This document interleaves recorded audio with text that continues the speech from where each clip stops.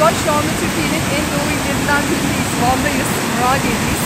Ee, Van'ın en eski ilçelerinden biri. Buraya, burada inanılmaz bir güzellik var. Muradiye Şelalesi ve özellikle fotoğrafçılar için kışın inanılmaz güzel görüntüler veriyor.